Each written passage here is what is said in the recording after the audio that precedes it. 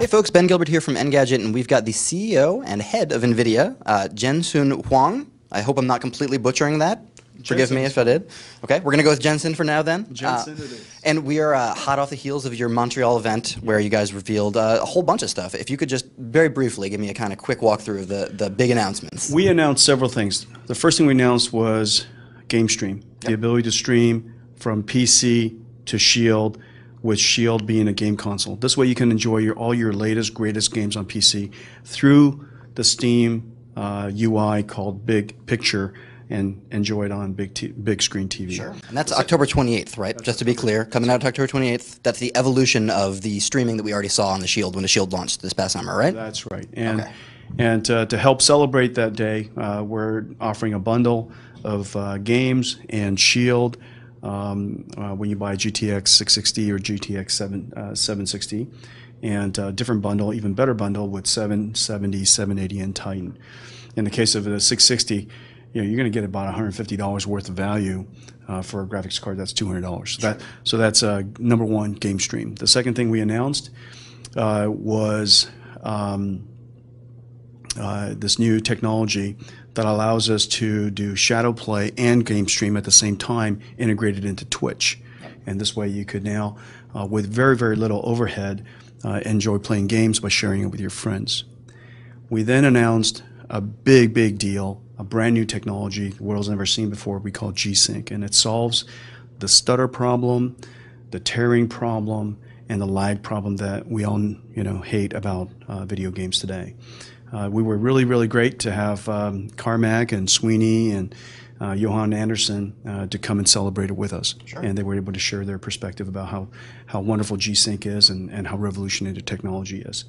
And then lastly, we announced GTX 780 Ti, our newest um, high-end enthusiast graphics card.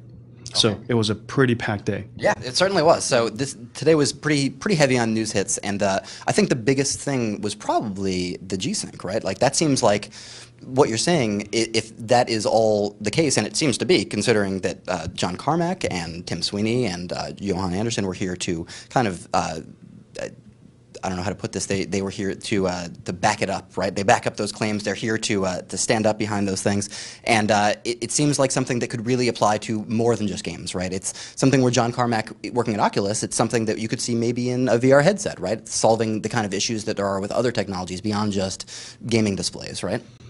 Yeah, it's a it's a pretty big deal. You know, G-Sync um, fundamentally changes the way the monitor and the computer system communicates. Right. Today, the GPU and the monitor are really two independent things. They're basically operating at completely different rates. As a result of that, um, you have fundamentally this problem of uh, synchronization between these two systems. With G-Sync, instead of having two systems that are running at completely different rates, we now have the monitor, which has now become a slave to the GPU. So as soon as the GPU is complete at rendering a frame, that's when we kick off the update to the monitor.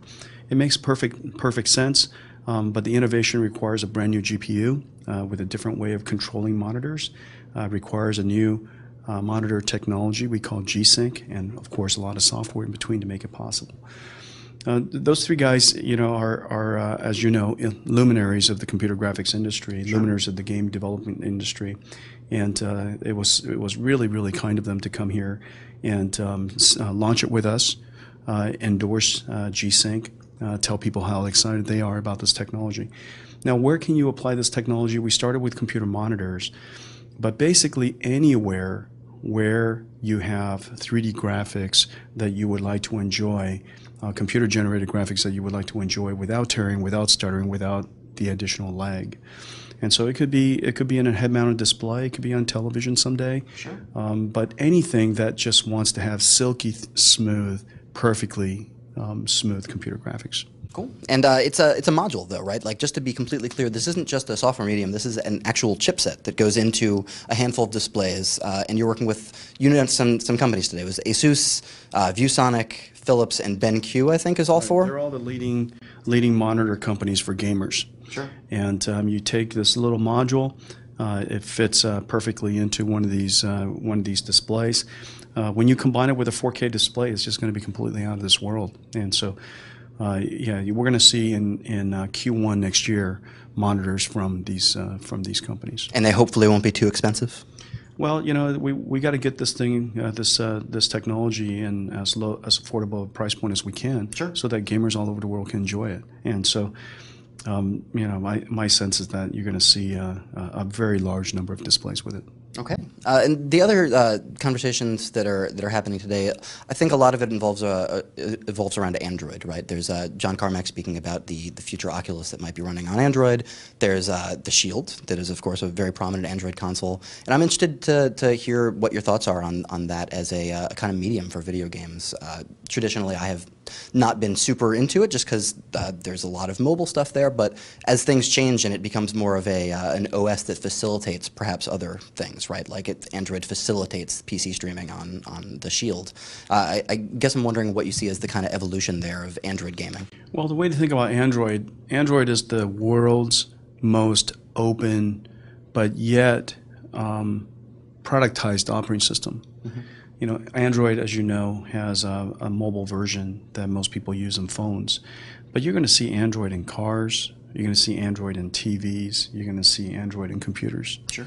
You already see Android all-in-one PCs available from HP and Dell and Lenovo and Asus and Acer, and um, so you're going to see Android really, really proliferating everywhere. Um, it has the benefit of having more people working on this platform than any other platform combined, and the reason for that is because the operating system is is largely open, and yet on the other hand, uh, with Google's uh, shepherding of it, um, every season it takes a big leap forward uh, in an organized way. And once it takes the big leap forward, it goes to the top of the tree. Um, from there, it becomes open source to any company. And so, whether you're a startup company or a large company in any industry, in any country, um, you can pull down the Android operating system and use that as your starting point. So, um, you know, as I travel the world, I see people using it to build TVs now, build cars now, build vacuum cleaners now, and so Refrigerators? So refrigerators now, and so you're going to see Android literally everywhere, and it makes perfect sense that it would be the operating system that that uh, Carmack is going to put in the Oculus. Um, the, to us, the reason why Android is such an important platform is we want to do for Android what we what GeForce did for PCs. What GeForce did for PCs was turn an open platform personal computing device and turned it into a game platform. You mean the GeForce Experience spe- specifically, or GeForce, the graphics chip. understood? Yeah, and it turned a PC, a, a commodity PC that you use for Excel and PowerPoint, and, and turned it into a game console, if you will. We would like to do the same for Android devices.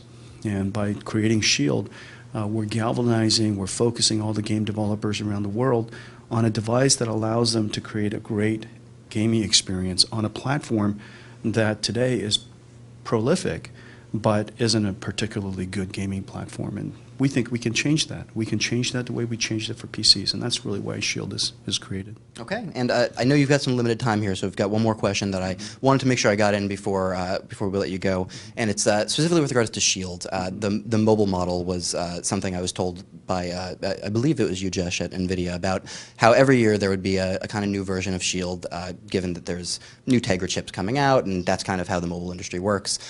Presumably, we can expect a Shield 2 in 2014. Yeah, uh, we should expect a new Shield when there, whenever there's a new Tegra. Sure, And uh, sure. we uh, create a new Tegra every year. Um, we've announced uh, the next Tegra is um, uh, named Project Logan. Right. Um, Project Logan is the world's first mobile processor that is um, has all of the architectural sophistication that you see in a PC platform today. It's based on exactly the same architecture as the Titan GPU that that um, everybody everybody loves. Um, and so the Kepler GPU is now available in mobile form factor.